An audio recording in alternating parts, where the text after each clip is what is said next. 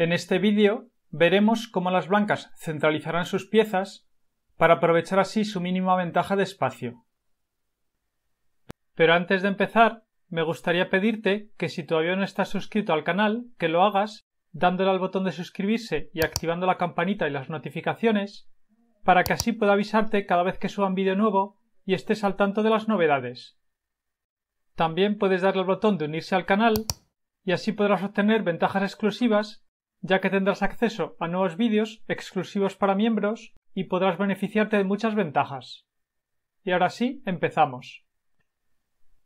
La partida comenzó con las jugadas D4, D5 y ahora las blancas hicieron la jugada caballo F3 desterrando su caballo de rey. Las negras contestaron con caballo F6 contestando simétricamente y ahora las blancas hicieron la jugada C4 avanzando con su peón lateral para atacar así contra el peón de D5 y tratar de eliminarlo y así quedarse con una mayoría central de peones. Ahora no sería bueno capturar el peón blanco con la jugada d por c4, porque las blancas pueden continuar con e3 y están amenazando capturar el peón de c4, con lo que recuperarían el material. Las blancas se han quedado con una mayoría central de peones y van a tener muy buena posición. Y las negras no pueden conservar su peón de más con la jugada b5, porque las blancas seguirían con a4 atacando al peón de b5 para así dejar sin soporte al peón de c4 y luego poder capturarlo. Y si las negras continúan con c6 para reforzar la defensa del peón de b5, las blancas seguirían con a por b5 y después de c por b5, ahora las blancas pueden continuar con b3, aumentando la presión contra el peón de c4 y amenazando capturarlo, y las blancas van a recuperar el material, ya que después de c por b3, ahora las blancas continuarían con alfil por b5 jaque y luego capturan el peón de b3 y las blancas han equilibrado el material y tienen ventaja debido a su mejor estructura de peones.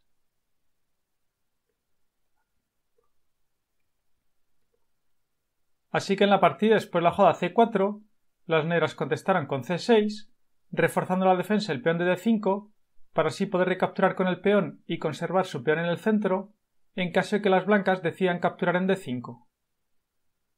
Ahora las blancas hicieron la jugada e3, librando la acción a su alfil, para así poder recapturar en c4 en caso de que las negras decidan capturar el peón de c4. Ahora las negras hicieron la jugada g6 para deserrar su alfil de rey por la casilla g7 y ocupar así la gran diagonal de casillas negras. Las blancas contestaron con caballo c3, deserrando su caballo de dama, y las negras hicieron la jugada alfil g7, deserrando su alfil de rey y preparándose para enrocar.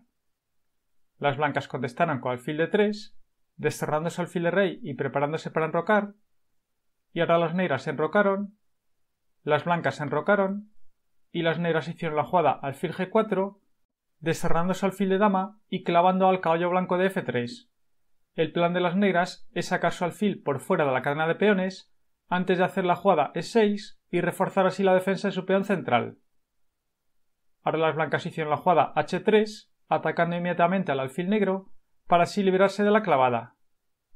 Las negras contestaron con alfil por f3, eliminando al caballo blanco, que es una buena pieza que defiende su enroque y además controla las casillas centrales. La partida siguió con dama por f3, y ahora las negras contestaron con e6, reforzando la defensa de su peón central. Las blancas contestaron con torre de 1, activando su torre de rey y acercándola hacia los colmas centrales, apuntando contra la dama contraria. Ahora las negras hicieron la jugada caballo B de 7, completando el desarrollo de sus piezas menores, y las blancas contestaron con alfil de 2, completando el desarrollo de sus piezas menores y comunicando las torres, y luego las blancas podrán continuar con la jugada torre A C1 para activar su torre dama y acercarla hacia los colmas centrales, y tiene sus piezas muy bien centralizadas. Pero la posición de las negras es sólida y es difícil de romper.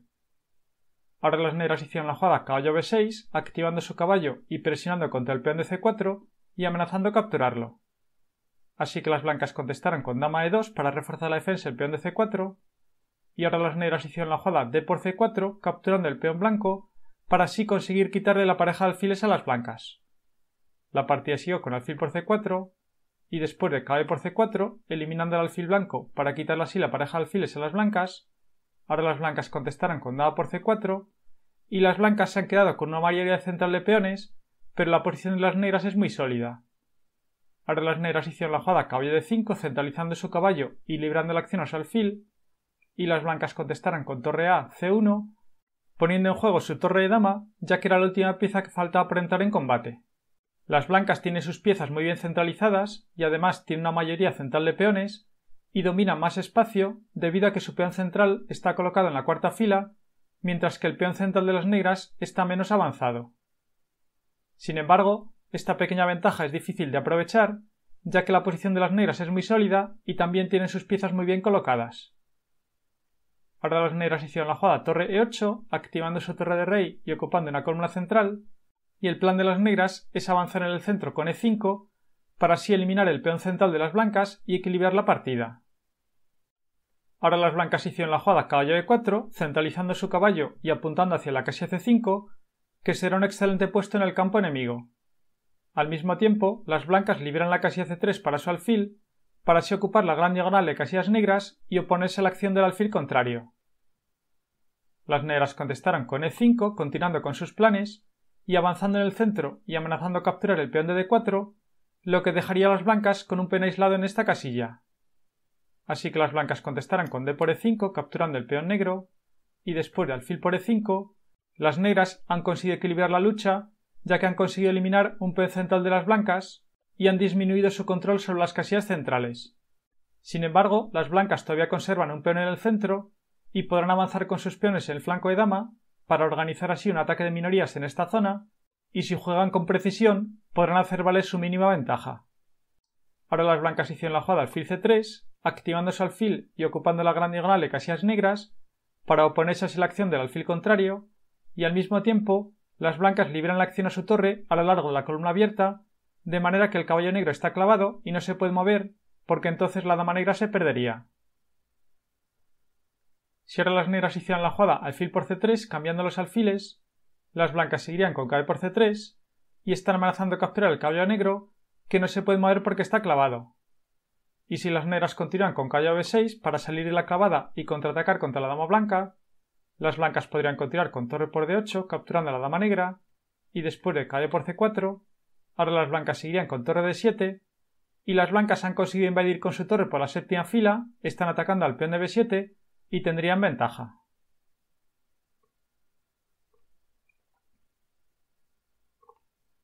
En la partida después de la joda alfil c3, las negras contestaron con dama de 7, saliendo de la clavada para así salir de la línea de ataque de la torre contraria y poder mover su caballo. Ahora las blancas hicieron la jugada alfil por e5, cambiando los alfiles, y después de dama por e5, ahora el caballo blanco está atacado, pero las blancas contestaron con torre de 4 para así reforzar la defensa de su caballo y evitar quitarlo del centro.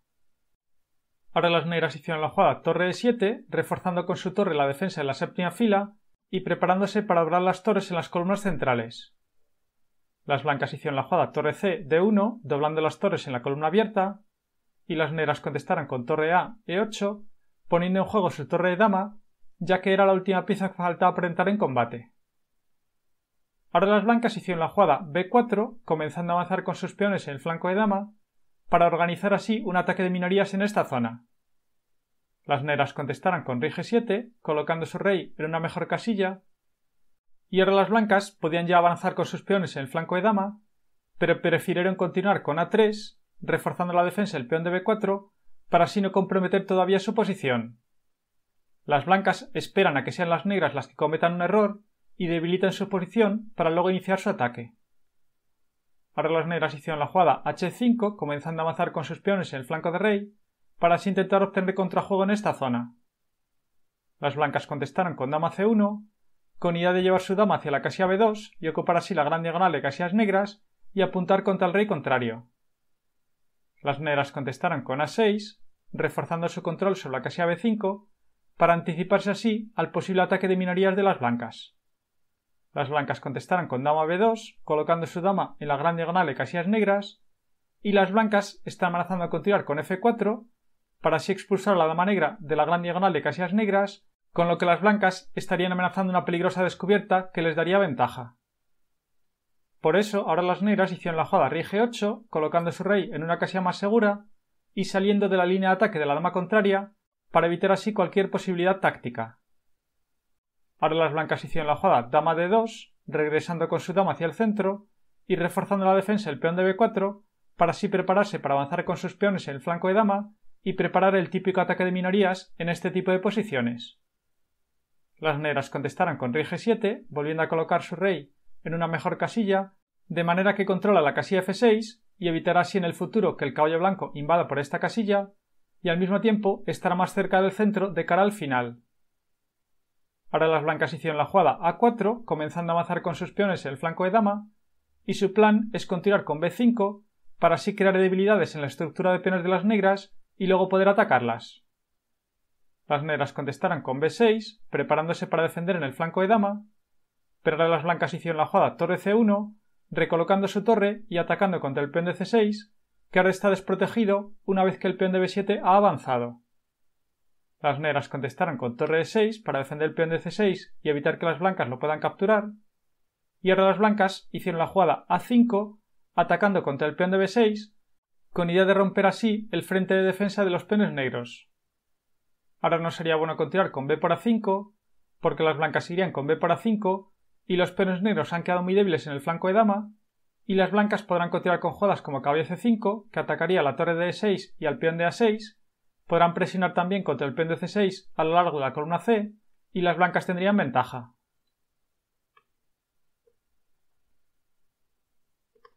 Y después de la jugada A5 tampoco sería bueno continuar con B5 avanzando con el peón para así defenderlo,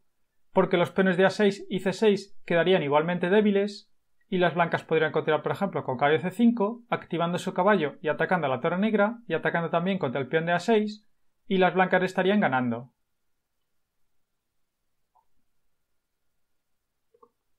En la partida después de la jugada A5, las negras contestaron con torre B8 para así defender el peón de B6, pero las blancas contestaron con A por B6 capturando el peón negro para dejar así a las negras con dos peones aislados en el flanco de dama que podrán ser fácilmente atacados. Las negras contestaron con torre por B6 capturando el peón blanco y ahora las blancas hicieron la jugada caballo C5 invadiendo con su caballo en el campo enemigo y atacando a la torre negra. Las negras contestaron con torre E7 para defender su torre y ahora las blancas hicieron la jugada caballo a4 atacando a la torre negra para así desviarla de la defensa del peón de c6 y luego poder capturarlo. Las negras contestaron con torre b5 para defender su torre y las blancas contestaron con torre por c6 capturando el peón negro y las blancas han ganado un peón, están atacando al peón de a6 y tienen ventaja. Ahora las negras hicieron la jugada torre e b7 doblando las torres en la columna b para así contraatacar contra el peón de b4 y así tratar de eliminar todos los peones en el flanco de dama, de manera que aunque las blancas se queden con un peón de más en el flanco de rey, seguramente las negras tendrían buenas opciones de conseguir tablas. Por eso ahora las blancas hicieron la jugada torre C, C4, para así reforzar la defensa del peón de B4 y evitar que se eliminen todos los peones en este flanco. Y ahora no sería posible continuar con A5 con la intención de eliminar el peón blanco para así intentar conseguir que desaparezcan todos los peones en el flanco de dama y tratar de conseguir tablas, porque ahora las blancas podrían hacer la jugada caballo c5, atacando a la torre negra y bloqueando la quinta fila, de manera que el caballo negro también está atacado, así que las blancas ganarían.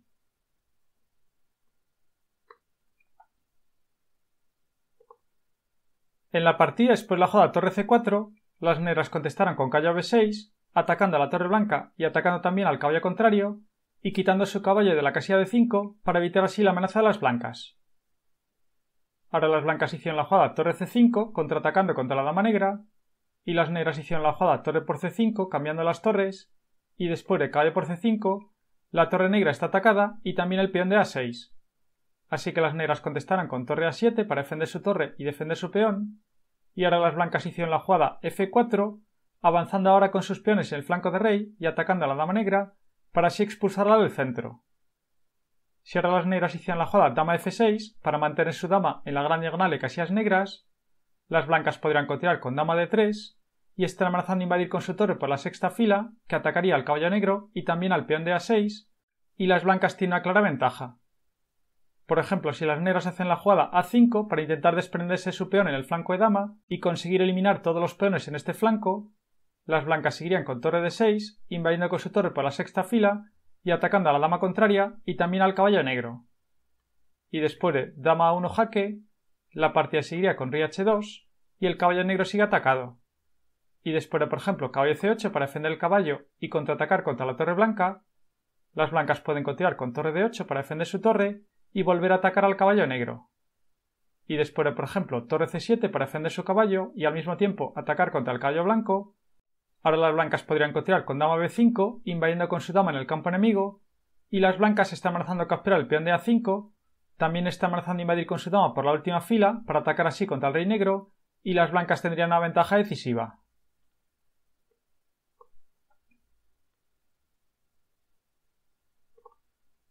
En la partida después de la jugada f4, las negras contestaron con dama e7 para así defender su dama, y ahora las blancas hicieron la jugada dama c3, ocupando con su dama la gran diagonal de casillas negras para amenazar así una peligrosa descubierta que daría ventaja a las blancas. Las blancas contestaron con rey g8, colocando su rey en una casilla más segura y saliendo de la línea de ataque de la dama contraria para evitar así cualquier amenaza táctica. Ahora las blancas hicieron la jugada torre e4, atacando a la dama negra, y las negras contestaron con dama d8 para así defender su dama. Ahora las blancas hicieron la jugada dama e5 centralizando su dama y preparándose para atacar en el flanco de rey, para atacar así contra el rey negro, aprovechando que las piezas negras están desplazadas en el otro flanco y no podrán acudir fácilmente a la defensa de su rey. Ahora las negras hicieron la jugada a5 intentando contraatacar en el flanco de dama, pero las blancas contestaron con torre de 4 atacando a la dama negra que tiene falta de casillas. Las negras contestaron con dama f8 pero abandonaron la partida sin esperar la respuesta, ya que las blancas continuarían simplemente con dama f6 que atacaría al caballo negro y amenazaría también invadir con su torre por la última fila, con lo que la dama negra estaría perdida y las negras no pueden defender todas las amenazas, así que las blancas ganarían sin problemas. Una partida muy instructiva, en la cual hemos visto cómo las blancas centralizaron muy bien todas sus piezas y aprovecharon su mínima ventaja de espacio para ir mejorando poco a poco su posición y mantuvieron un buen control del centro, lo que les permitió finalmente ganar la partida. Acuérdate de utilizar el cupón de descuento ajedrez a la carta porque además tendrás un 5% de descuento adicional. Te dejo el enlace a la tienda en la descripción del vídeo. Si te ha gustado el vídeo y quieres que siga creando más vídeos como este, puedes apoyar el canal haciendo mis cursos que encontrarás en la descripción de los vídeos. Dale a me gusta, suscríbete y compártelo en tus redes sociales.